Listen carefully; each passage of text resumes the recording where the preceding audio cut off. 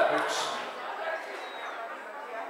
minu arvates üks ilusamaid luule maailmas Äh, geniaalsus peitub lihtsuses tavaliselt ja saad aru, et kirjutad oma arust hästi suure, suure šedüüri ja siis kirjutad ja siis mitte kellelegi see ei meeldi, siis kirjutad hästi lihtsa asja mingi poole tunniga ja siis kõigil läheb peale. aga eks see paratamatus ongi selline, onju.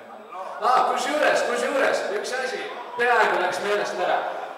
Need äh, õhtujuhid ei maininud ühte kõige suuremat komponenti tänase õhtu jooksul. see on helimees. teeme talle hästi-hästi suure aplausi, palun.